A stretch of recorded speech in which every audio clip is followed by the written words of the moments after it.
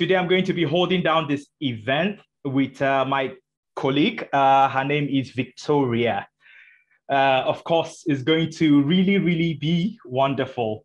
I understand that lots of people have joined from different uh, places, uh, not just here in the UK. So, if you wouldn't mind, you can type on the chat box. Uh, you can make use of the chat box and, and just tell us your name and where you're joining us from uh, so that we know how many people that are here with us today. Just your name and where you're joining us from. So we have Olumide, who is joining from Nigeria.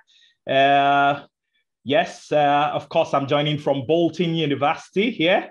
Uh, we have Luis from Bolton. Uh, we have Fazia Mohammed from Bolton.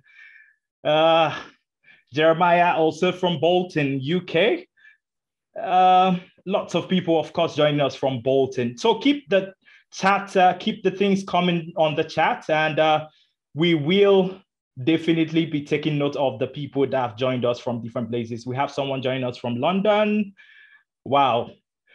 All right. So uh, without wasting time, just because we have just about one hour to have this event going, we have a wonderful resource person who is going to be talking to us about something that will really, really benefit each and every one of us, especially those of us who are master students, and of course, those of us who are aspiring to be master students. Uh, uh, she's going to be talking about something that will really, really benefit us. And I, I, I, would like each and every one of us to make sure you have a pen and a paper so that you can uh, write down some things.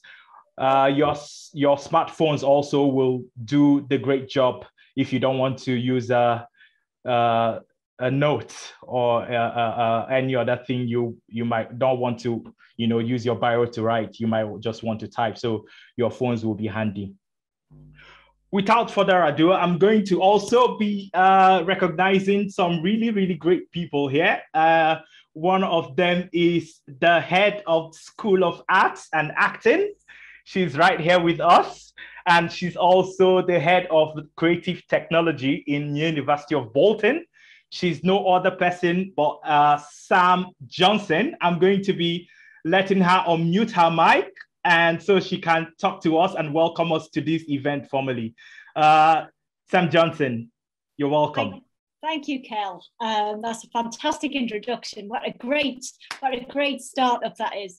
Um, yes, welcome everybody. I'm Sam Johnson, head of the School of Arts and Creative Technologies, and it's a real privilege for me to be here this evening um, in this inaugural series, the inaugural event of an inaugural series of, of November to Remember talks. So there's a fantastic range of, of sessions, seminars, and discussions ahead of us over the next few weeks. Um, and Jane, who's going be kicking off today. That sounds like a fantastic talk as well. So I'll be staying with you throughout throughout the, the whole evening. Um, obviously, this is an exciting time for the computing department, not just because we have this great range of talks, um, but you know we've got lots of new courses, there's the, the atmosphere is buzzing, the corridor where students are studying, there's a great dynamic and it's so exciting to be part of this developing, growing area in the university. And I think what's so important as well about this series is that we're extending our national and international reach, um, both in terms of the students and participants that can join us, but also the speakers what we want to do is to really embrace collaborative working, collaborative partnership, whether that's in teaching, knowledge, knowledge exchange, or in research. And this is one of those steps forward. I think a, a, series of talks like this is the way in which to develop these partnerships, hear voices from other organizations from across the whole world, which can enrich our learning environment. So it is, it's a real pleasure to be part of this. I have to say a huge thank you to Celestine uh, for setting up this series. Um, it's a really exciting development for us. And that's enough from me. So back to you, Kel, if I may. All right, thank you, Sam. Thank you for that wonderful message, and uh, we really appreciate that. I can see lots of faces still joining us. Some people joining us from uh, Manchester, Wolverhampton, and uh, uh, people also joining, still joining us from Bolton here. I want to tell you all that today is going to really, really be wonderful, and uh, thank you all for switching on your camera. It's going to be a wonderful evening, just like Sam has told us. Um, just to share something, just to let you know that uh, this is what we will be running with, just like a, a, skeleton of what the program is going to look like. Uh, right now we are actually had uh, our opening speech by Sam Johnson. And uh, I'm going to be inviting um, Victoria very soon to talk about the resource person that we have today by name Jane Egerton Idehen. Sorry, Jane, if I have uh, pronounced your name in a way that I that probably will will end me some sort of uh, uh, spanking. I'm really sorry if I pronounced that wrongly, but I'm going to be having Victoria very soon uh, talk about Jane, who is going to be talking to us today. Uh, after which we are going to have a question and answer session. So if you have a question, just make sure that you get ready with that question because we will have uh, a time where you will have to unmute your mic, or if you don't want to talk about it, you can make use of the chat box. And uh, after that, we are going to have a presentation by the uh, head of school, of course, Sam Johnson again, before we have the closing remarks. So right now, I'm going to be inviting um, Victoria to talk about the wonderful resource personality that we have today who is going to be talking to us. Victoria? Hi, Kelly.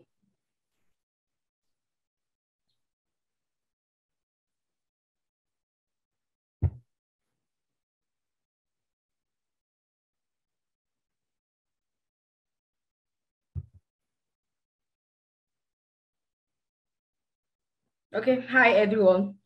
Um, are you seeing my desktop? Yes. Yes, we can see okay. it. You're welcome once more um, to this um, section. We have no other person here than Jane Hector here.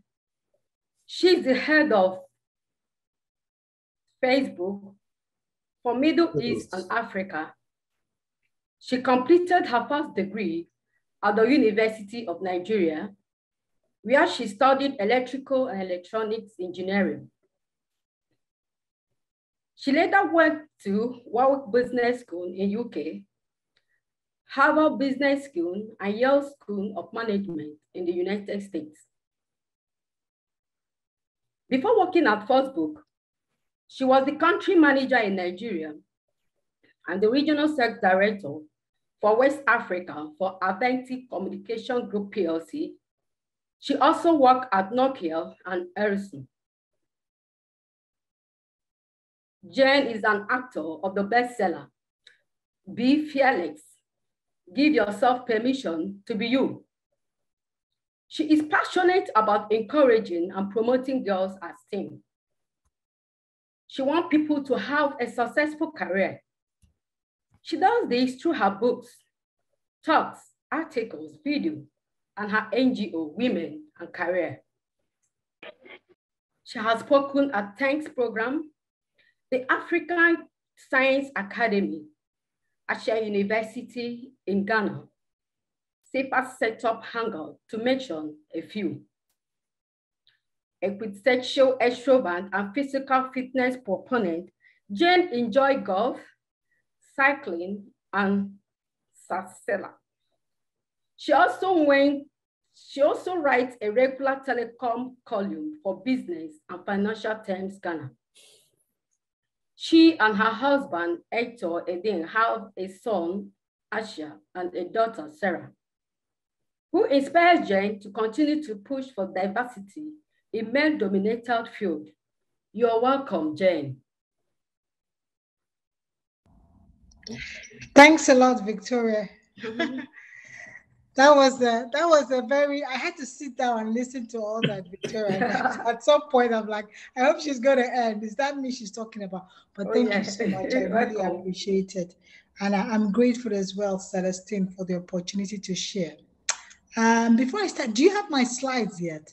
Or should i share them? Yes um, try if you can. If not i can Okay, if you could share them, it will help me with the multitasking. Okay. Okay, okay good. But I'll do a quick intro while he, he will try to sort out the tech. So, like she said, my name is Jane Egerton Idehen. And yes, um, I know um, uh, Kelechi was talking about, you know, murdering the name. Don't worry, everybody goes through that. It's Idehe, not uh, Idehe. I've, I've had a couple of that. Um, okay. I, I'm actually Nigerian, but I'm currently based in Dublin because I manage a sales team the sales, I had the sales team in charge of Middle East and Africa for Facebook. And this is almost my 20 year career journey in the sales route, though I started as an engineer. So that's an interesting one. So, disclaimer I have a daughter that is 10 and she has checked all the slides and she confirms to me that the slides are perfect. she's, my, she's my assistant. But no, no, let's start this interesting topic. When um, Celestine reached out, I thought, oh, this was a good one to, to share because I'm really passionate about employability, career, growing your career, especially as a woman in tech. And I'll start by really telling a story. I'm a storyteller, by the way, so I love telling stories. So, um, like 20 years ago, because this is exactly 2001, um, I just graduated from engineering in University of Nigeria, and I was looking for a job. So normally what we would do is like you print out the CVs. You go to like a cyber cafe or like one of these business units and print out lots of hard copies of your CVs. Then you go around, um, you go to like companies um, and you ask, you ask for like the HR, head of HR or the operations manager or the admin supervisor. So depending on the con- uh, company, they have different people in charge of recruitment. Then you hand out the CVs. And the whole intention is that someone reads the CV and someone finds you. Now they read the CV, they are happy and they tell you, come for an interview or come for a test. And if we dial back to last year, so last year I got this job with Facebook. I actually started with Facebook in February. And I'll tell you how I got the job in contrast to how I got my first job. So, what I just told you was how I got my first job going around uh, Lagos, handing over those CVs, writing tests, going for interviews, sometimes outside Lagos. Last year, I started becoming very um, visible on LinkedIn a couple of years ago. I written a book. I share my thoughts on LinkedIn in terms of my sector, what's going on, and my career journey. And someone reached out to me on LinkedIn, sent me a message, and said he was a headhunter and he wanted to talk to me about an opening. Funny enough, I told him I wasn't so keen about an opening. I wasn't, he's like, no, no, just let's just chat about the job. I will see how it goes, you know. So we talked about the job, but what I found was interesting that he knew more about me than I could, you know, I was like, I said, he was telling me about articles I'd written and comments I'd made. And he actually, I could tell that he understood what my core values were, where I was headed in my career, and even my career journey and some of my skill sets, because he was speaking to some of the, he was speaking to some of the, you know, the, the materials I'd put out there. And I thought it was interesting. So we started on this journey, we spoke, and within like a month, I'd done interviews. All this was happening from my dining room in Lagos, by the way. I didn't go anywhere it was, you know, COVID, there was a lockdown, and people were not traveling. So this was all happening in my dining room. We did all the interviews all the way to the head of the, um, you know, the different heads of Facebook. I was offered the job, and the only thing was that I had to travel because the leadership team sits in Dublin. Uh, if you could go to the next slide. So I told that story because I wanted to set the tone for how the day will run because I wanted to, you to see where I was coming from and what was happening now in terms of getting a job. And we'll speak to that. So one of the things we'll talk about is the global trends when it comes to employability. Talk about top skills that are really being ranked by companies.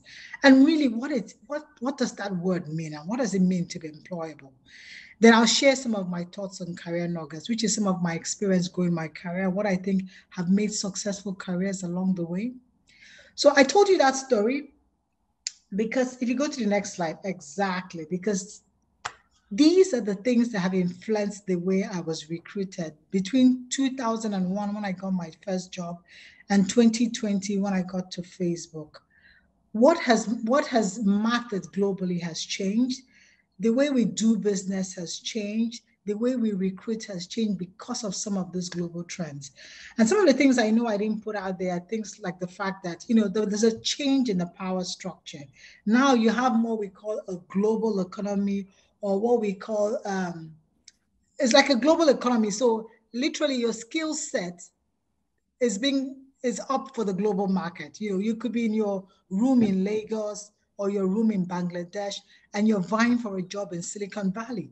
And you could actually work from Lagos or somewhere in Pakistan, but you're working for a company in California and being paid by that company in California. So these global trends are changing the way companies operate, what is important to companies, and the skill sets they are looking for. So on the right, I know you can see that there's a whole um, infographic there, but it's showing like the big blue one, there's a big trend for healthcare, the orange one for tech related jobs.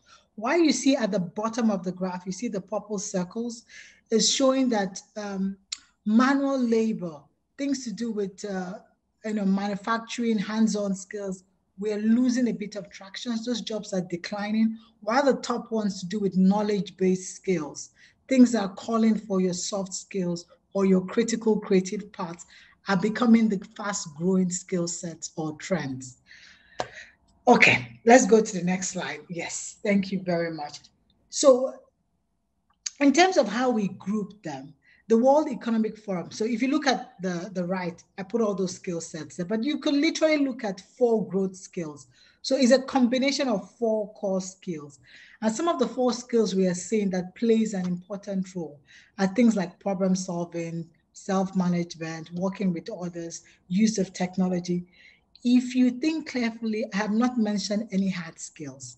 So hard skills are most times some of the skills you have to acquire for a specific job. Um, so you have to uh, have skills like for a sector, you have to know a particular skill set for that sector. So for example, maybe like a software engineer has to know how to program, you know, coding becomes a hard skill. So these are core skills they have to have. But what we found out that in the workforce, what is really pushing growth is the growth skills or the soft skills. And some of those skills are difficult to teach. They are acquired but they can still be taught. They can be taught using some, you know, experience, putting yourself in the right situation. So I just wanted to speak to this because um, that trend continues to happen. And we are seeing by 2025, with all the automation and all the other things I've spoken about, the skill sets will tend to be more soft skill focused than more hard skills focused. And we find out that sectors, could you, could you move to the next uh, slide? Thank you so much. Yes. So these are some of the, in terms of top jobs, and you can see a lot of them have been influenced by tech. So what we are seeing is a convergence of industries or sectors. So you will hear things like agri-tech, health tech. Everything has a bit of a tech influence to it. So we call it the fourth industrial revolution, but it just means that the lines are blurring. The skill set you're requiring for some sectors are transferable to other sectors. So someone that has a, a digital skill set can literally work in media, but can also work in the pharmaceutical sector, can also work in the power, power sector. So the lines are being blurred, which is a positive thing. It's a good thing for everyone on this call. It means that with the right skill sets, there's no, the sky is your limit. It means that no industry would hold you back. You know how we used to go to school, you study medicine, you got to be a doctor. You study engineering, you have to be an engineer. Now I'm saying you study engineering and you could decide you want to use that skill set somewhere else because the skill sets are so transferable now. If we go to the next slide. So that's just in terms of the trend. And I wanted to set that scene so you, you, you see where we're going in terms of there's a shift in the market. And that means you also have to bear that in mind. As you're going into the workforce, it has to be key to you that am I acquiring the skill set or do I have the skill set or am I positioning myself for that skill set that will make me stick out? That's really what you want. In simple terms, you want to stand out. You want to have interviewers interview 20 people and you stand out. You want to have headhunters look at 50 people and you stand out. So that is what you're looking for. What are those skill sets that will make me stand out in the workplace?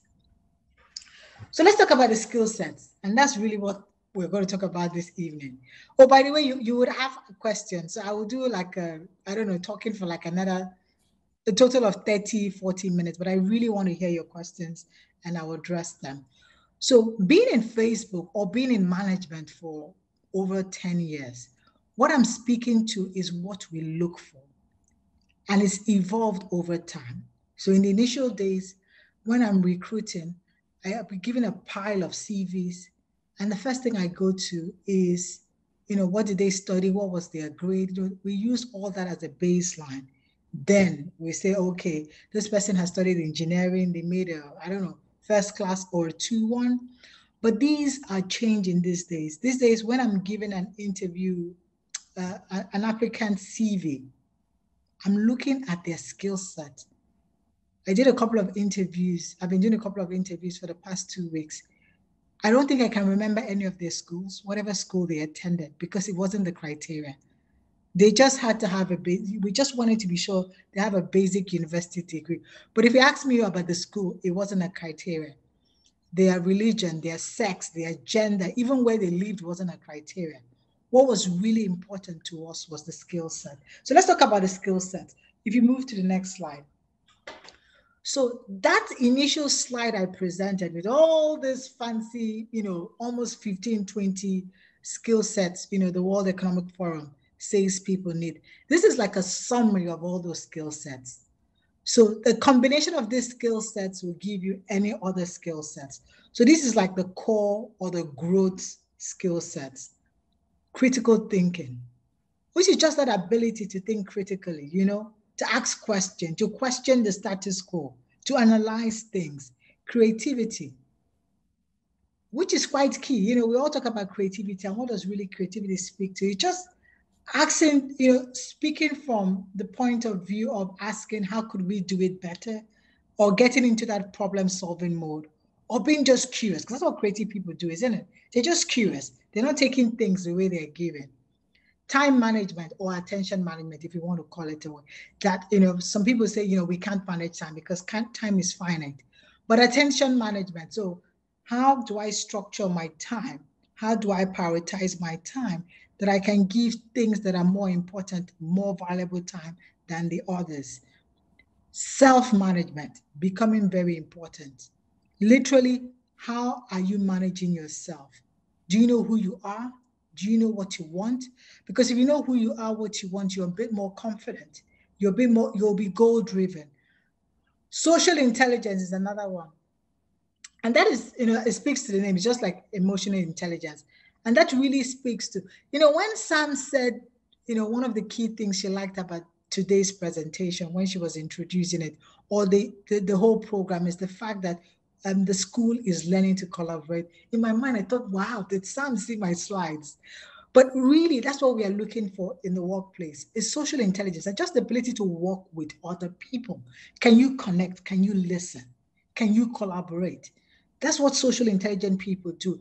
If you can do all this, you learn how to persuade. You will learn how to negotiate. You know a bit of conflict management because you know how to work with others. And these skill sets are big, they're even becoming more important. You know, now you have to even do them virtually. Now, initially we were doing them, you know, physically. So connection is easy, isn't it? When you can meet someone in the office, have coffee. Now you have to do it over a screen set, um, a screen or a video conference when you're at the same time trying to read their body language. Is it a yes or is it a no? So a combination of this skill set is what creates collaboration, leadership, every other secondary skill set that are also part of the soft skill set is just a combination of these. Now, the good news is that you can acquire them. There's a school of thought about, you know, is it nature, is it nurture? But I know that these skill sets can be acquired with training, with having the right experience. But another good thing about these skill sets is the fact that once you have these skill sets, you can always evolve with them. You can get better. And these are the skill sets that will make you stand out in the office or in the or in your career. And these are the skill sets that will make you grow. So because they're not tied to any sector or in any industry, you're very fluid. You can change sectors, you can change industries, what is important is that you can speak to these skill sets. And that brings me to the next slide. Please go to the next slide. Thank you. So now let's talk about some of the things I think is required, some of the things we are looking for. Remember my story when I started about, you know, walking around the streets of Lagos with a hard copy CV to just being in my house and posting things on LinkedIn and people listening and seeing them. Positioning starts becoming key. So the dynamics have changed from the global trend, isn't it? Positioning now, recruiters are now looking for you in a different space. Before we go to recruiters, we have to go and hand in our CVs. Now, recruiters look for you. And when people look for you, what do you do? You have to learn to position yourself. That is very important. And I will speak to some of the things you can do. If you go to the next slide, this i know a lot of people like when i share articles about it i see a couple of people like oh my god i'm so uncomfortable with this you know. Ah being visible like is it bragging? Is it you know am i going to be like trying to be too forward? It is so important you know why? In about two weeks time myself and my leadership team will be doing some form of recruitment. And i'll tell you what we're going to do. We're going to block a couple of hours on a friday and we will go on LinkedIn and start checking people's profile. That is how we're trying to recruit. We're looking for people's profile. We're going to chat groups to see comments people have made to give us a bit of insight like, oh, oh, this is the comment this person made. This is how they're thinking. Oh, this might be a good candidate. Let's put him in there. So it is so important that you be visible. The tools are already there, just use them. And you know, first of all, you have to get the whole notion of, you know, like, oh, I'm being too forward or you're bragging. No, if it's something, you know, it's, it's all about how you see it. And it's just like your CV. In your CV, you speak to the skill sets you have, the experiences you have.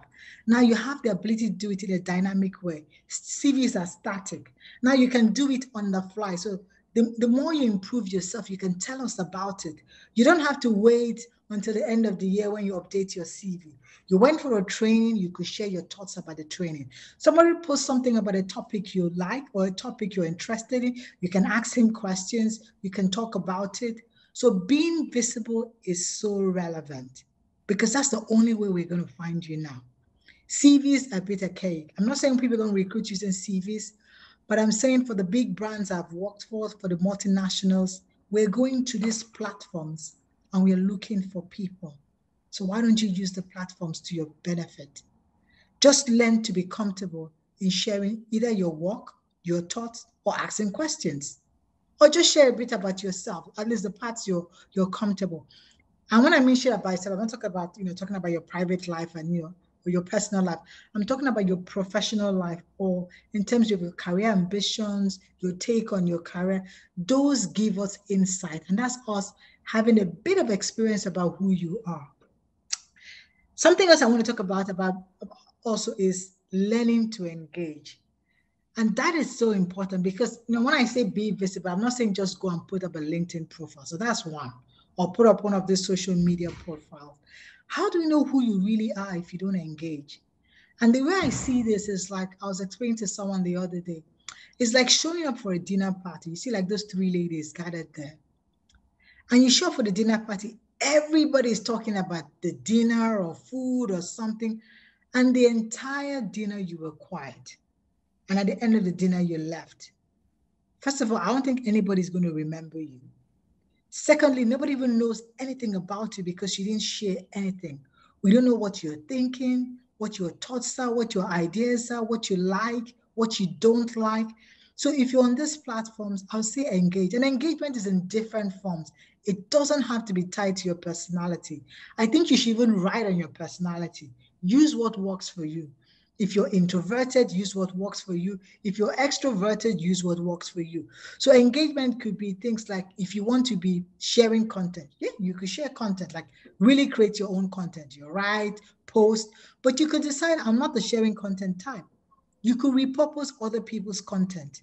Somebody writes something you like or publish something you like, you repurpose it like, oh, interesting article I read. These are two things I learned from it. Or I love something about this article. Have you guys read this article? I'm curious to know this in the article. Or even ask the author of the article. So engagement could be in that form. It could be liking the article and commenting on the article. It could be repurposing the article. It could be creating your own article. It could just even be asking questions. You know, all those things are okay. We are trying to really understand who you are so we can make a better decision if you're a good fit. So if you could go to the next slide. Yes, thank you. So apart from engagement, I want to talk about something as well that I also haven't been doing a couple of interviews this past week, because I told myself I didn't want to speak to things you can have information out there. So I felt things like, you know, how to do your CV and how to do interviews. They're just all over the, you know, knowledge is so abundant now. You can Google it and find it. But I wanted to speak to this because I felt sometimes we see mistakes show up. I think before you should show up uh, for an interview or a discussion with your recruiter headhunter, also do your research because when you do your research, you tend to have a full, fully engagement. You know, when we are chatting, like I told you about the recruiter, what caught my attention was that he read my articles. So we were also talking about the articles. Oh, you said something about this. What's your take on this? And why did you say this? So I think it's so important. And in every form. So it could be you want to have a coffee chat with someone you met on, um, met on LinkedIn because you're interested in the organization. I think you should do a bit of research before you go for the coffee chat. Find a little bit about their company or the person or what they do, something that when you're engaging is more fulfilling. Also, learn to reach out for informal chats. You know, that's part of showing up. You know, don't just be on those platforms. You know, if you see an organization or someone doing something you like, I would ping them. You know, I've made a habit to have what I call virtual coffee chats, and I try to do one a week. I try when I can and normally I do with someone I really don't know. I see an interesting profile on LinkedIn. I see somebody saying something thoughtful. I will like ping them. Oh, I like what you said. I'd like to hear more about this. Are you open for a virtual coffee? And I think those are good ways for you also in the in the workforce or you know looking for employment to create that connection and also to show up. Let me tell you a story. When I was in, so I used to head a team in Ghana I was managing Ericsson's operations. And in hindsight, if I recall, most of the people I employed, very few I employed employed through the formal process. Most of them were through informal process. I had a chat with someone interested and I told them, hey, I think you, you sound interested. I need to ch- talk chat with someone. And before you know it, I'm getting you to chat with my HR. Uh, someone comes and intends with me or walks with me, and I, I really you know, we see the way they work, and I'm like, you know what? Let's put a tab on this person. If they really want to work for this company, these are the kind of people. Let's ask if they want to stay. We would like to recruit them. So those informal chats are important. And something else I wanted to speak about, because people ask me this a lot. There's been a change in the way we interview people. And I thought I should just speak about this because I didn't want to talk about interviews. Most multinationals, at least the ones I work for, when we interview you, we ask you behavioral type questions, and it's good to Google that. So you'll notice we're no longer going to be asking where do you live, where do you stay, um, um, you know, where did you go to school? Some of those basic things we ask. Now we're asking to understand your skill sets and how you apply them. So you see all those skill sets I mentioned, we will be asking you questions regarding where have you used those skill sets? And it doesn't matter, it doesn't have to be on a job. It could be you were coaching a soccer uh, a soccer team. It could be managing your siblings at home. So when we are asking you about collaboration, we'll be asking you questions like, can you tell me a situation where you had to, you know, influence a team to work with you on something that there was a huge tension or conflict about? You could tell me it was your siblings, it's fine. If you could tell me that, you know, if you could, in explaining that situation you managed, I sorry. I could see the skill set show up. So what we are really looking for when we ask you that is, first of all, you tell me the problem you solved. So you're giving the problem statement. Oh, where I had to work with, you know, I had a situation where I had to collaborate with this, or I had a situation where I had a tough timeline. So you tell me the problem statement and you tell me what you actually did. So what are the five, three, four things you did to address it? How did you solve it? Then finally, you tell me the outcome. That's all we all we want. What was the outcome? And it's always good to quantify it. So at the end of the day, I was able to get my siblings to agree to watching TV at 7 p.m. instead of 8 p.m. At the end of the day, I was able to increase the company's ROI or reduce the company's cost. At the end of the day, I was able to get over 100 people to attend the webinar. You know, just quantify the outcome. I just thought I mentioned it there because I see a lot of people coming to interviews and they're all over the place. This is one good way to answer those questions. Yes. So let's oh gosh, I'm always using up the time. Let's quickly go to some. So those are things I just thought you should know, you know, entering into the workforce, looking for a job, trying to be employ, um, trying to be employable, or positioning yourself. Now let's talk about some things that could also help you when you're actually in the workforce.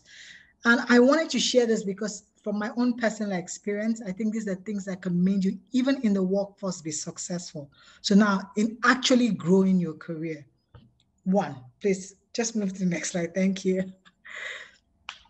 A good way to approach it is that your career is a journey. And I say this again and again and again. It's not a linear progression. Sometimes it feels like you went forward. Sometimes it feels like you went sideways. Sometimes it even looks like you went one step backwards. But what's important is that are you acquiring the skill sets for your ultimate vision? So think about it. You started off in engineering and all of a sudden you find yourself in sales. So it's not always like a straight progression and be comfortable with that. Because if you are, you'll be opening to taking up that experience and acquiring the skill sets you need. That is what you need for where you're going. So if you plot it as a linear progression, you get overwhelmed because you're thinking, okay, this year I'm this, next year I have to be this, the other year I have to be this. If you're not open to a journey, you will not take up that experience well. So please see it as a journey. It's not a linear progression where every day is a step forward and a step forward. Oh. I think we all have to meet. I could hear. Let's go to the next slide. Thank you. Um, I think, could we meet everyone? Thank you very much, because we could hear someone in the background. So the second thing you, you also have to be aware is that your learning doesn't end. I see people say, oh, I just want to finish this master's. I just want to finish this undergraduate study, and that is it. If you really want to evolve and grow in your career, it is a continuous learning process. And when I mean learning, you're unlearning, you're relearning. So sometimes you're unlearning something you learned, sometimes you're relearning something new or, or, or learning something you've already learned before, but in a different form. So you have to be open to really learning. And learning sometimes has to be you mean you investing in yourself. Takes me to the next slide here. Probably have to hurry this one's up. Next slide, please. Thank you. Next slide. Thank you. And what is important is the quote. I love this quote by Stephen Covey that what grows is what gets watered. The good thing is that those growth skill sets or soft skill sets are skill sets, if you continue to involve, to invest in them, they will grow. And there are different ways you can invest. Sometimes it's just you volunteering, taking up an opportunity that pushes you to grow a certain amount of skill set.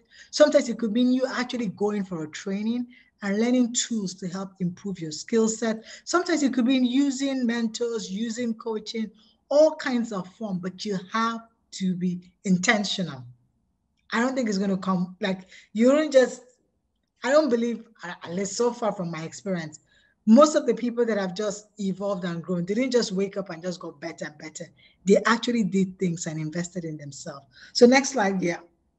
So things I thought I should say. I, I wanted to really talk about attitude. I said, no, it's more than just, yes, it's good to have a good attitude, but I think you have to do two things. You have to feed your mind and you have to protect your mind when it comes to attitude in the workplace. Because some of the skill sets I'm talking about, they will come with tension, they will come with conflict. Collaboration doesn't mean everybody is kumbaya, kumbaya, happy. It means that we're going to have conflict. You don't like the way this guy talks in the meeting. You didn't like the way somebody is um, taking those ideas and flipping them around. There will be tension. So the attitude is so important. And some of the things that would help you is things like really protecting your mind, which means be very intentional with what you feed your mind. So you're not just feeding your mind, but where you're exposing your mind. Because if you come up with the notion everybody's against you, you start to see everybody in the office as your enemy or your competition. If you come up with the notion there's a good in everyone, you start to see the ability to collaborate, even with the very difficult people. People that most people like, oh, we don't know how to work with these ones. You'll find ways to work with them. Next slide, please. Don't want to take on. Networking, so, so important. This is, in my own words, it's really more than networking. I throw in the mentors in there. You have to build a network. You have to build a tribe. You have to build colleagues that would support you, promote your work, you would learn from. So the ones you're learning from are like now your mentors. The one that will speak for you are now like your sponsors. But it's so, so important. In the workforce today, if you really want to get ahead, this is one of your golden keys. Next slide, please. Yes, I thought I put this there because if I reflect on my journey, some of the things that have really made me stand out is this being present and paying attention. And it speaks to your ability to adapt and be flexible. The only reason you can adapt and be flexible is when you pay attention. You start to notice there's a new trend, there's a new, um, the office is going towards a new, the customers are asking for something new. When you are present and pay attention, then you'll be open to those experiences. You realize that, oh, this is no longer working. Okay, yeah, this skill set is a good skill set that you acquire. And that is when you can see the opportunities. If you don't pay attention, the opportunities will pass you by. Because I know when I started my career journey, I had this nice goal sheet of what I'm going to be in three years, in five years, in 10 years. It didn't play out that way. Because as I was paying attention, I realized that, okay, all of a sudden, people found out that I had this good skill sets and they were offering me this. So the question was that, can this take me on the journey? Yes, it can take me to where I'm going to. So yeah, no problem. I will change. I will move from engineering to sales. It still takes me to the executive level I'm going to. So please be um, learn to be present and pay attention. You also have to learn to go the extra mile.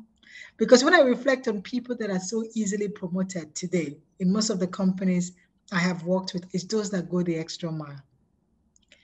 I know it sounds like counterintuitive. Why do I have to work extra? They only pay me this and they only do. It's those that go the extra mile, people that show up and show up 110. There is no way we can take notice. And if the system is fair, we will get them promoted because it's so clear that they're in it for the long run. They're going the extra, they're giving way above what we ask. So this is something I think is very important if you're going to be in the workplace. And yes, when it comes to collaboration, I've said a lot about it, but I think the smartest people in the room are those that learn to have the right people working with them. So collaboration, like I said, don't throw that out of the window. You would so need it. A lot of the things you will need to navigate in the office will be tied to social intelligence, working with others. You have to learn to work with to work with others. People that have different experiences, diverse team, people that are from different cultures, people that even think differently. And that is the beauty of diversity. Your ability to work with them shows leadership. So with that, yeah, I think I made it. Yes, I made it on time. We're going to open it up to questions with that. So should I hand it over? Who's going to take the questions? All right. Clayton or Victoria? Yeah. Yeah. So thank you so much for that wonderful uh, talk that you gave to us right now, Jane. That is firing, and I'm sure that all the people that we have here, they have great questions for you. I'm very sure about. I, I don't. Are you ready for us? Jane? I am ready. I've been ready. Okay. I'm excited to be here. So I'm ready. All right. So because you know the way the world is going now, we are even moving to space. So probably you'll be recruiting for space, Jupiter. Oh, you know, we could, have an, we could have an office in Mars. Definitely, definitely. So that's where we're going to. All right. So to make you, uh, we are going to make use of the uh, raise your hand icon. If you go down to reactions on your Zoom, you will see the raise your hand icon. So what would happen, Jane, is um, you will be looking at your screen in no particular order. Anyone that raises their hands, just pick out their name so we can see if we can take questions at least for the next 10 to 15 minutes before I invite Sam Johnson back again. I don't know if that's good, if that's uh, okay by you, Jane. Yeah, that works. That works for me. All right. So, guys, uh, if you put up your hand, if you raise your hand, Jane will be watching out uh, to see. I can already see people raising up their hands. So uh, in no particular order, she will be calling names and then you'll be putting unmute yourself and ask the question. Please, if you're not asking any question, try and uh, mute your mics. Thank you very much. Jane, over to you.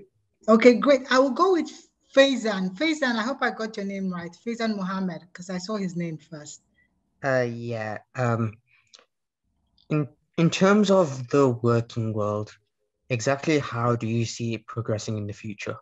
As in, what do you think would be different or what do you think would stay the same in terms of future prospects? I think the only thing that will stay the same is that we'll still remain humans. okay, that's my perspective. We'll still be human beings. So everything got to do with humanity will be there. You know, kindness, empathy will be there. But in terms of the hard skills, it is evolving. Like I put those trends there. We are getting, we're now working virtually. Can you see? It's now a norm. Uh, we have resumed and we're saying people can choose to work remotely. So those things will change. In terms of the hard skills, they would also change because we are saying with automation, the fourth industrial revolution, the future of work, we will be moving towards you know more cognitive skills, creative skills. So routine type tasks, we're throwing them away. Anything that's routine type, we will find a way to automate it. So in terms of what could change, a lot will change, but the soft skills won't change because that's humans. That's the things we cannot get the machines to do. The, the part of you that we haven't found a way to automate, like creativity, critical thinking to a certain aspect, leadership, those things will remain. And I think that's where you should put a lot of focus. I hope that answers the question. Yeah, thank you. So I'll go for Abdul. Abdul, I think you were next on the screen. Abdul Rahman. Uh, yes. Uh, yes. Here's Abdul Rahman from Bolton University. Yeah, Abdul Rahman, you might have to increase your volume. It sounds a bit faint. Okay. Can you hear me? No. Yes, it's better now. Okay. Uh, I am Abdul Rahman from University of Bolton. So my question is about the digital presence. Like you were talking about the digital presence of the LinkedIn, Instagram, Facebook, and so on. So uh, it's it's okay when when you, we talk about the prof- professional digital presence on, on the LinkedIn, GitHub, and so on. And uh, but I, what about the Instagram, Facebook, Twitter, and so on? Are these considerable for the recruiters to when they are uh, looking for the candidates and so on? So Abdul, I would answer it in this way. I think what we're looking for is like a digital footprint. So you can choose how you want to show up. So you can decide. Some people are just comfortable, you know, showing up on professional platforms like LinkedIn. They wouldn't do Instagram and Facebook, TikTok, and you know, Snapchat. Uh, but what we really want is a digital footprint because each time I'm given an interview list, you know, the first thing I do, I just Google the candidates. Wherever they show up is fine by me. I just want to know a bit about them. It could be a YouTube video, it could be an article on the web, a website, it could be their LinkedIn profile or their Instagram profile or their Facebook profile. I'm just looking for a digital footprint. And that's what we do time and time again. Not just even for recruitment, sometimes even for networking, collaborating. The first thing you do is you look for the person and we go for the digital footprint. So choose the way you, you know, the one that is more comfortable for you. But I think it's so important to have a digital footprint and be intentional about it. So don't say, oh, I don't need to. Like, it will be very difficult in this time and going forward to just think you can just live from behind your your screen and you will not need to have a digital footprint. It's very, very difficult. Hope that answers it, Abdul. Uh, yes, definitely it answers me. So thank okay. you. Okay, excellent. So I think the next is Usman. I don't know why the ladies aren't asking me any question, but don't worry. I'll just continue with the hands up. Hello, Jane. And Hi, uh, Usman. uh, welcome, Jane and Sam, actually. And it was really beneficial, this session, actually. And uh, now my question, basically, I'll put it in a situational base. So you said you'll start your career in 2001 and you are engineer field, engineering field, basically. So if uh, 2001 Jane has to uh, graduate in 2021 and has to find out job and all these skills are there she needs basically and she got the thing is that i think obviously there are pros and there are more pressure you know we are different we got different fields and we should be people can be confused which fields they can choose with. And there are more uh, competition in the market. If you are in talent of river at the back end now is in 2021 is a talent of ocean where you need to find your job and uh, you know uh, there's so many people are graduating and you need to obviously you said we need to be visible visible uh, visible basically in the market. So how you think uh, 2021 change is going to react in all those challenges? Obviously, there are pros, as you mentioned, but it's not easy uh, to uh, get a start in 2000, uh, 2021 uh, in a good market.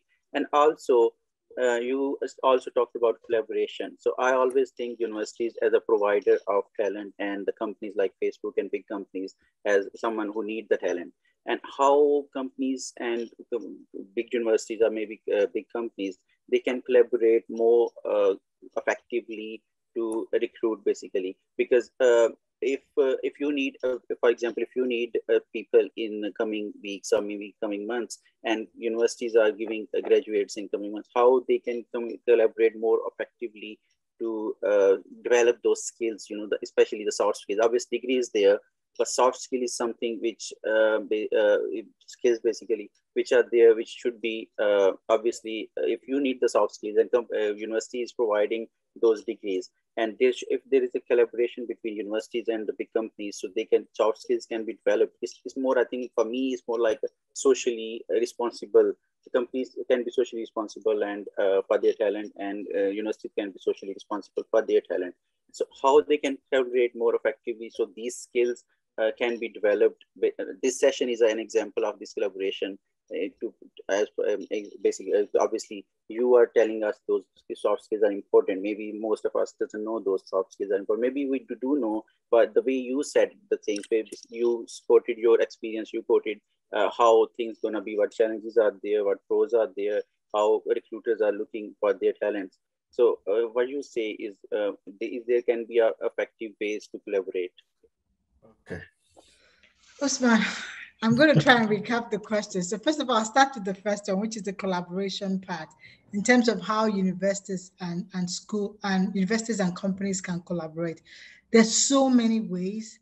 Um, I'll, I'll, give you some examples of what I did um, when I was, um, I used to, like I said, when I used to run an operation for Ericsson in Ghana. So one of the things I did, we found out that we had a shortage of skills so people come with the hard skills, not fully with all the skill sets we wanted. So we went to the school. And for starters, we said, you know what, why don't we, when I have an, um, an, an expert in town, a specialist in town, why don't I get my specialist to come and give you a guest lecture? So I asked the specialist to volunteer their time. I only asked for like two hours. Maybe when they come to town for like a week to do an integration for a new technology, they give me two hours where they go to that school and they share insights about that technology. Because we thought if we could prep the talent before, it would be easier. We didn't want them showing up and they had no clue what we were talking about. We're talking about mobile money. They didn't know all those things we are talking about. So we said, why don't we just go to those schools and do that? Secondly, some of the things we did was internship. So that's a good way to collaborate. Uh, because when the interns come, we are now, you know, trying to groom them to say, these are the skill sets we are looking for. These are the projects we are working on to give you an idea of what we are looking for. So by the time you're coming to be back into the job market, you know what these companies are focused, yep. where we see the trend, where we see the sector going on, where we see technology evolving. So it's easier to position yourself. So those are ways, but there's so many ways, even it comes to hiring. So this one's talking about skill set. In terms of hiring, like I know we do, most companies do graduate programs. But like I said, they're also being influenced by the trends. So in the past, we will go to the schools and we still do. But you know, with COVID, nobody could go to any school.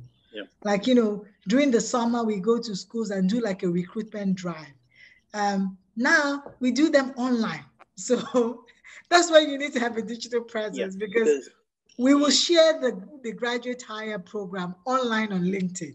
And probably yeah. that's where you're going to find it yeah because you have mentioned about the fourth revolution and students should know that about this fourth revolution basically and they should know what they are expected exactly. from the companies so if there is a conflict between what we think is companies expecting from us and what companies actually ex expecting from us so there might be uh, obviously if there is a conflict there might be a gap in between the expectations to each from each other so can, that can be a problem in the you know when you start your career especially. I think Jane uh, usman is practically saying that so uh, your company like facebook should have a kind of which what we're already doing now have a collaboration where they like internship yeah. coming in internship uh, and all kind of programs so that people will know that oh so uh, facebook is doing or ericsson is doing or you know different kinds of company are doing so that they can also encourage the younger generation to fit in uh, with the, small scale you know soft skills you are speaking about. Usman, you're right. We do do things like that, but I think we need to speak more of it, especially towards the region, uh, because I know we do graduate hires, we do school drives, but I don't know if we speak more. So we have to use the tools like what we're doing now, yep. the collaborative tools to speak to it. So if we're doing a graduate hire, why don't we send it to all the schools so they're aware that we're doing graduate hire or we are open for internship for the summer. So yes, I think more needs to be done in terms of creating the. And it will be very good if we can have those contacts. Anyway, Sam will connect you again. That's why she's here, so that yeah. we can have that internship. Oh, especially oh, yes, we can do that with the yeah then we can announce it to them. Most of them, I can actually tell you, most of our students are very good, you know, and they are ready, you know, for taking this course. You could know very well that is very they are intelligent, and we want them to be exposed to most of those things. Yes. A lot of people are raising their hands. Exactly. We can, take, we can only take two. We can only take two. Okay. If you're only taking two, I think the person I saw was Ajala that I saw next. Yeah, good evening. I'm Ayodele Ajala. I'm a student of the University of Bolton. Uh, my questions are two parts. Um, you mentioned something about evolving. You started your career as an engineer, but I guess um, at some point you delved into sales. I always believe that um, the first job one gets, okay, I'm Nigerian, and I actually feel that's the way it has always been in Nigeria the first job you get can actually determine your career path. I have friends that started networking with me, but they weren't so lucky to get their first job in networking. And today they can't do networking again because their first job probably took them out of networking and they had to be dedicated they had to be dedicated to their first job. So they opted out of networking. So was that the reason why you opted out of engineering for sales? Then secondly, um, I noticed you went to an Ivy League college. I actually believe um, priority is given to people that attend Ivy League colleges. Sincerely, I, I have the feeling because they always feel they have the best candidates, they have the best students and everything. So I would just like you to expatiate on that. Thank you. Okay, I take the questions as they came. So the first one, uh, why did I evolve? Uh, I think I evolved because um, so many things I could speak about, but it's not because I always wanted to be sales. I didn't choose sales. You know, I, that's why I talked about be present and pay attention. I never chose sales. I always saw my career being tech, engineering. I was going to be a CTO or some technical head. But what happened is that I was, um, you know, I had this free time. I had nothing much to do. I didn't have any project. And somebody had offered me a project to run. And I thought there's no harm. I'm learning something new. It was a new technology. So it was GPRS in those days when um, when data or internet was just um, commencing. So I thought, oh, something new. We, nobody knows about it here. Let me let me run it. So I did it for the experience, for learning. Um, but in running that project, people were observing the way I it. I didn't even know I was doing that. So what had happened, now this is me telling stories. At the end of the project, it became successful. The client, I ran it for a client. So the client wanted to take it further commercially or make it a permanent solution. And normally then we would celebrate that milestone. So we were celebrating the milestone and everybody was happy. We were all having drinks together. And somebody moved to me. Uh, he was the head of the entire team then and said, come work for me as a salesperson. I'm like, you I just said, no, I'm not a salesperson. I'm a tech person, I'm an engineer. And he said, no, what you've just done is sales. Because you know what he found out? I knew everybody in the room. I didn't know everybody in the room because I just wanted to go around knowing people. I knew everybody in the room because in trying to deploy that technology, I had to meet different teams and explain the technology or solve the problem or work with them. So I was finding myself in different paths and trying to navigate that and collaborate with them. So, for example, training will call me we don't know how to train people on this new technology. So you have to come and tell us what it is. Then the next thing I get a call from operations. This server, we're having a problem with this server. It's not working with the network diagram. I was just trying to figure out the answers. I didn't know all the answers. But in doing that and working with them, I get to know everybody. And that's only what they wanted in a salesperson someone that can build connection, someone that can solve problems and create trust. That's how I landed in sales. So if you had asked me, I would say, no, I'm not a salesperson. I don't know what it takes to be a salesperson. But that's the reason I landed. So it wasn't intentional. So sometimes you have to pay attention. That's why I said your career is a journey as you evolve, you're bringing skill sets. You have to always position yourself for new experiences. You're bringing out skill sets and talent you probably didn't even know you have. And if you pay attention, either other people will tell you or you would observe it that all of a sudden I can do this comfortably and I enjoy doing this. Or, oh, why is it that, you know, it looks like everybody comes to me to solve this problem? You know, what's the need that nobody, why don't they understand? Why is it like it's just me that knows how to solve it? You know, but it's nothing to do with my my my my key job. Maybe it's something I was doing for fun as a hobby. So please, that, that's how it, it happened. So to your what was your second question again? Now I've told so many stories. Talking, the, second the, second question has to do with you, yeah, being in um, Ivy College, right? Um, university, right? So Something like what, that. Mm, that question technically could be right and wrong. So when I started my career, it was right because I remember wanting to get in on a talent program and I was told that these were the only schools they were going to take. If I get an MBA from any of these schools, then I'll make it for the talent program. That is so not right. At least now we know better. Uh, because we know that uh, we shouldn't be using schools to determine skill sets. And another way I would say it is that I came from the slums. So if you base it on access, I would never be where I am. I grew up in one of the lowest slums in Lagos, a place called Ajegunle. So if you base it on access, the school you went to, then I shouldn't be where I am. I have no right to be here. That is so wrong. And we found out it's not inclusive, and that's not a good way to source for talent. So now most companies shy away from that. In short, sometimes they purposely will block out things like gender and the actual name of a school from a CV so that you actually rank the people based on the skill set or experience and not on things that shouldn't be.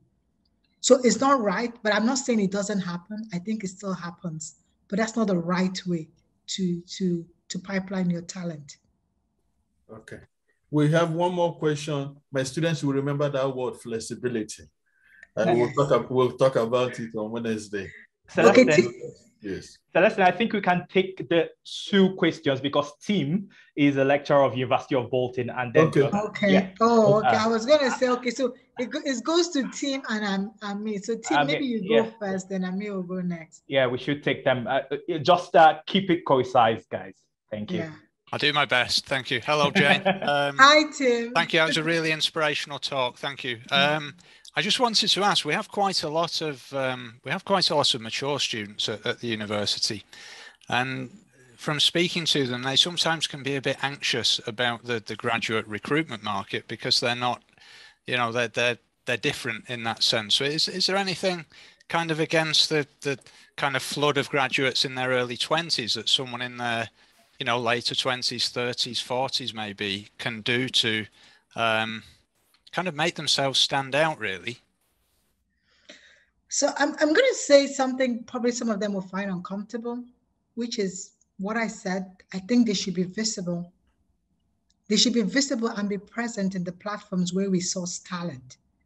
Um, a lot of them probably might also be coming from the notion of the whole day of create my CV, look for someone to give the CVs to. Um, now we do a lot of recruitment by referrals. You know, we do a lot of recruitment by actually going to this platform. Like I told you, in the next couple of weeks, I'm going to spend a couple of hours on LinkedIn just sourcing for talent. So if, if you're not on the platform, I can't find you because not everybody, take about proximity, will be able to get to me or get to someone that works for Facebook and get a referral. You know, another way is to go to the platform itself and, you know, look for the job openings under the career. But the, the so easiest way is that, you know, so why don't you give yourself a better chance? Because if you're a mature student, I think it's so easy to be present on these things. Because you know why? You could share your knowledge. You could position yourself as a thought leader. Mm. It's so easy for you because you do have some expertise. you have learned something, whatever, no matter how small it is, or, or you have learned the ability to learn. That is also a skill set, knowing how to learn.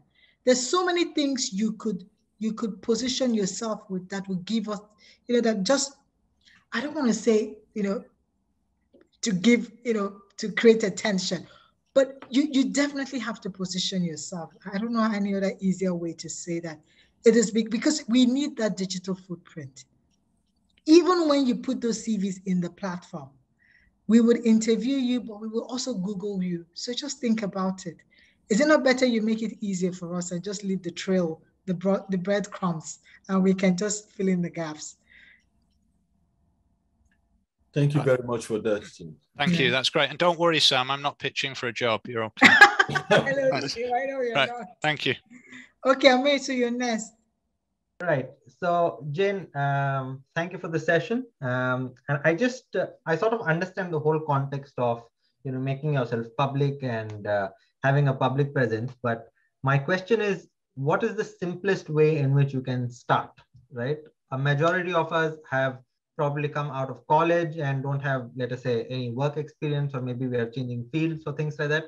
So how exactly, uh, what are the simplest things that we can share about without actually coming across as imposters or, or you know, facing that imposter syndrome? How do you begin to position yourself and what types of content can you probably start sharing to begin with?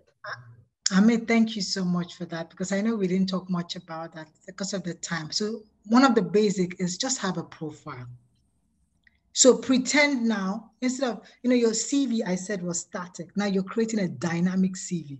So all I'm asking, whatever your CV was trying to, you know, pass across to us, can you put that there? It could be on LinkedIn or wherever you choose, but create a profile that is just like a, pretend it's your dynamic CV because you're going to keep evolving. In terms of you know how to engage, just basic things you could do. You could even just be asking questions. You read something and you ask the author, oh, I just read right. your article on five tips of negotiation. I'm just curious about tip number five. Could you share some sure. more, you know, what, what, you know, just ask the question. Right. Because it shows your ability to analyze. You read it, you analyzed it, and you're asking some very deep and thoughtful questions. We right. would notice it in those platforms. So right. those kind of basic things, I think, are some of you don't always have to create your own content because I know it takes quite a lot to do that. Understood. And I actually, actually think all of them, you know, most of my students, some of them feel they don't have they don't have skills. I actually feel what they need is to get put them together. They have a lot of scattered things they have done. So when I teach them ability to put them together is what most of them actually need. You can't tell me you have been 80 years without having any achievement. You know, the thing is that you don't realize that whatever you have done, just like Jenna said, will help you in the job either you take care of your family, whatever you have done, the leadership skill is always there. So don't ever feel that because you have been out of uh, school eight years, you, you don't have any skill. No, you have something. Just look inward. That's why I tell you when you when, when we're interviewing you, if you even tell me a story, you know, if you if you if you answer the question using experiences outside work is acceptable. Nobody's going to judge you. Oh, why are you talking about your you know, when you manage your siblings or when you helped your mom manage her business, what does it go? We are looking at the skill set, your ability to collaborate, your ability to innovate, your ability to, you know, to be an entrepreneur. Influence. So those skill set is what I'm looking at. I, I, wherever the situation you use them, it even makes it more interesting because I would like the diversity of thought. Right, right. Yeah. Thank you, Jane. Thank you, Dr. Celestine. All right. You're welcome. Thank you so much, guys, for all those questions. And There's one you. teacher, one teacher that has a question to ask. Dr. Shivan. Eh? Shivan. Okay. Okay, I didn't see her. Um, okay. I was about to ask question, but someone put down my hand, so I'm not. I'm sorry about oh, that. sorry, sorry about that. Mm-hmm. Well, my my question is pretty much straightforward. Uh, I mean, mm, thank you for your talk. You you talk a lot about the you know preparing things um, and uh, presenting your skills uh, about uh, recruitment from LinkedIn. But um, one thing um, I just want to ask, you know, uh, in the recruitment. So obviously uh, we applied through various uh, mediums. So is, is the CV enough for, for a recruitment or uh, is cover letter plays a vital role? And if cover letter plays a vital role, and if you consider it for recruitments, then what points you you uh, look at the cover letter? Also, one last thing, um, you um, you mentioned you pick people from LinkedIn uh, for recruitment. So um, uh, would it be possible for you or for your team um, to share some links, you know, uh, for the students uh, who belongs to networking or security or software engineering? Mm. So because you mentioned at some point about internship and, uh, and things. So those who don't have LinkedIn profile, um, can have opportunity um, to apply for some jobs. Or they should create a LinkedIn profile. no, I know, but but you just uh, answered I mean, the question. okay, you I know mean, this. There uh, are people who don't have LinkedIn, so I mean, uh, would would it be assumed that those without the LinkedIn profile won't get uh, a job or something like that? It, it doesn't. It just means that it's easier when you do. So I'll give an example. When people, when we look for talent, most times we don't ask, give me your CV. We just say, can I have the person's LinkedIn profile? And I'm just being truthful. It's so easy to just check the LinkedIn profile and say, okay. But I know people, some people are still, you know, focused or they're more comfortable using CVs. And I wouldn't say that CVs still, you know, get a fair chance. So most times even the recruiter would ask you, okay, share your CV, or when you're applying for a role, we will say upload your CV or upload your LinkedIn profile. So we, we do say that. Um, but I, what I was talking about is how to make yourself a stronger candidate. Because there's so many things your CVs cannot tell. Um, your CVs most times speak to the static nature of the skill set but your engagement on the platform speaks to the dynamic how i can experience it. It tells me how how good a critical thinker you are or how creative you are you know it could even be how you answer the question or, content you put out so it gives me which is also what i'm trying to do remember when i'm interviewing you is to say okay you said you you have creative skills or you know like give me an experience or tell me a situation where you had to use you know, your creative skills. You know, I'm trying to speak to that. So I'm not saying CVs, but I'm saying it's preferable that you're on those platforms because that's really what will make you stand out. Uh, CVs will be a bit more restrictive now because it's only when you see the job, then the CVs can work for you. With the profile, the jobs can actually find you. Slightly two different things. With, with the CVs, um, I have to have shared the role, you have seen the role, or uh, um, there's an advert out there, we ask you for your CV. What you miss is the nice five fine line of us actually sometimes looking for talent without even putting the the role out there. And what we do is just to go to these platforms. And sometimes when we look for, and I'll be very frank with you, we look for talent even when the jobs are not there because we want to create a pipeline. And that's what we are doing when we go to the platforms. We're building a pipeline. We're saying these are very interesting candidates, having looked at their profiles and you know having a sense of what they are or their core values or their a bit of um, their thought process. We think they're good people that are a good fit for our company. We want to save their profiles as future recruitment. So what we do next time we want to recruit, it's just easy to pick those ones. So I'm just giving you some tidbits of how you can make it easier for yourself.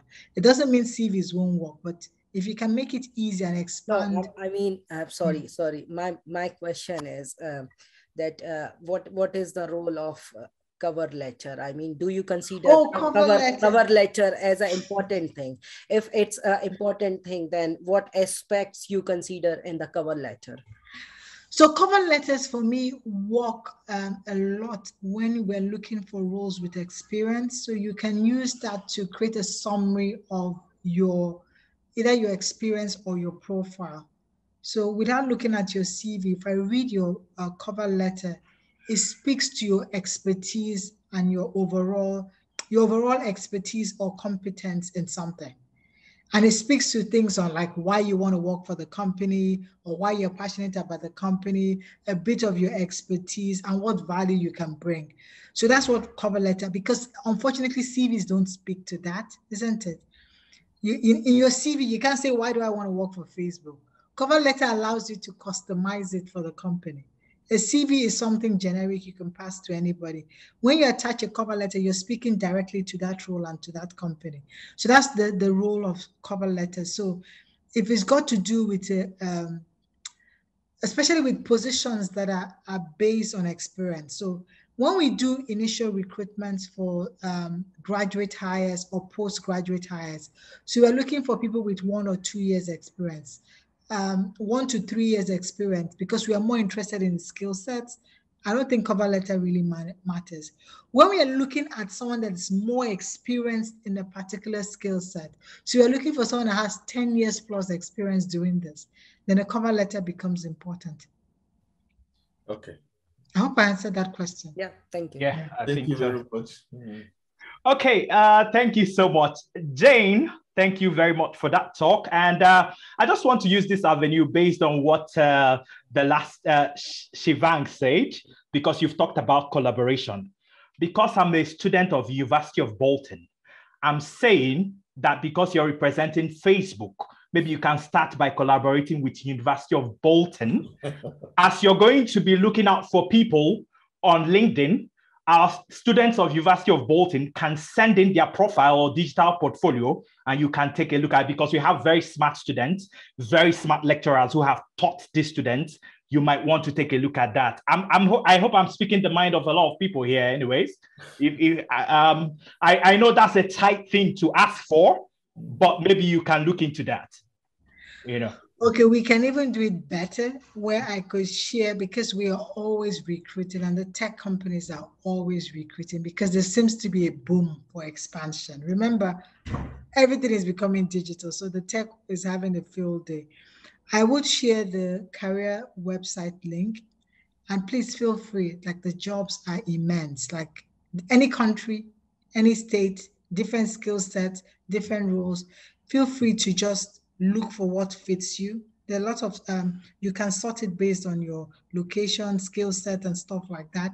Then, secondly, um, we could take a bit further and see maybe when we speak, uh, myself and Celestino, I'm not too sure who, we can see how we can ensure Sam, that Sam, when we Sam do, is ready. She's always okay. There. Sam, yes. When we do the graduate hire, because we don't do the graduate hire, it's not like something we do. We do it most time in the summer, but I think next year we also want to do it earlier in the year we can make sure that, you know, we would also reach out because there's a team. It's not like that's my job. So there's a team in HR that or recruitment that does that. So we can also reach out for that. All I right. think that would be a, a more sustainable way because if I had to do the recruitment all the time, I think I'll be overwhelmed. definitely, definitely. All right, thank you so much for that. I'm sure that will work. And also, I know some students here still have some questions in their mind they probably want you to answer. So I don't know if you speak with Celestine, if there is an email or somewhere we could send those questions to, and then we'll have some response back reach me on LinkedIn and you get your answers. Okay, Just thank you. Thank you so much. She's very visible in LinkedIn. So, yeah. all right. Okay, so I would like to invite back the head of School of Arts and of also Creative Technology, Sam Johnson, to uh, do something really, really important. okay, uh, can someone make me a co-host, please? Is that okay? Yes, that's that's okay. Is that okay?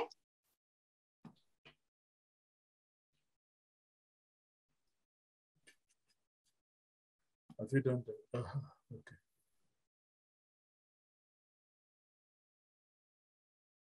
Lovely. Okay, so if you bear with me one second, here we are. Here we are. Can can you Ooh. see that, folks? Yes. Can yes. everybody see that? That's yes, fantastic. Well, please may I award you, Jane, with the first of our guest speaker awards um, that expresses our gratitude for gracing the occasion. Um, so thank you so much for joining us. And um, I'll stop sharing that now. We'll send that to you so you can keep it forever in a file somewhere. Okay. uh, but I mean, from my perspective, I'd like to just echo, I mean, the word Tim and other people have used, you know, that's a really inspirational talk. And what I'm fascinated by is your reference to self management. And that's not logistical or practical, but that notion of self management as knowing who you are where you might want to go, but what your values are. So it's so much more profound than what's written, you know, down in a sort of to-do list, that knowing who you are. And I think that's a, that would be a really interesting journey for many of us as educationalists. How do we assist and facilitate students to know who they are, not just what they know, but who they are? Because as you say, that then builds courage to be flexible, to take risks, to make yourself visible when if you don't know who you are, it's that bit more difficult. So I'd, I'd be fascinated. I can't wait for you to come back and do just a whole evening on self-management, Jane. Um, that would be absolutely fantastic. So thank you. Yeah, thanks very, very much for joining us. Thank uh, you, Sam. You've set me up now. You're trying to say, okay, Jane has to be back. uh, that's right. And I'll tell you what else is fascinating. and, I, and I think people have probably hopefully learned a lot is, you know, the power of excellent storytelling. You know, yeah. the power of storytelling, you're so right, goes such a long way. And it takes practice. Not everyone's a natural storyteller. But if you can tell a story, your story, in a compelling, entertaining, lively way, you're halfway across the, you're halfway across the finish line. And I think that was a really valuable lesson that you all taught us there, Jade. So thank you very, very, very much for your time and your expertise. That was just a lovely session. Thank you. And I think I'm handing over to Celestine now to, to wind up the evening. Yes. Yeah. I think I'm there now. Thank you very much, um, everyone, for coming. I thank you, Jane, for accepting uh, this invitation. This is just the number one. We have tomorrow, you know, the the punk, the man, the, the punk in the series. We'll be speaking tomorrow, you know, and it has a lot in stock invite your friends, get on. The CV part, as Ivan was asking, we have someone prepare for your CV. The, the, the month is loaded. So be there. Thank you for coming again. And uh, everyone have a good night. Thank you. All right. Well done. Good night. Thank you, Jen. Thank you, guys. Have a good night. Thank you. Thank you. Good night. Thank you. Good night.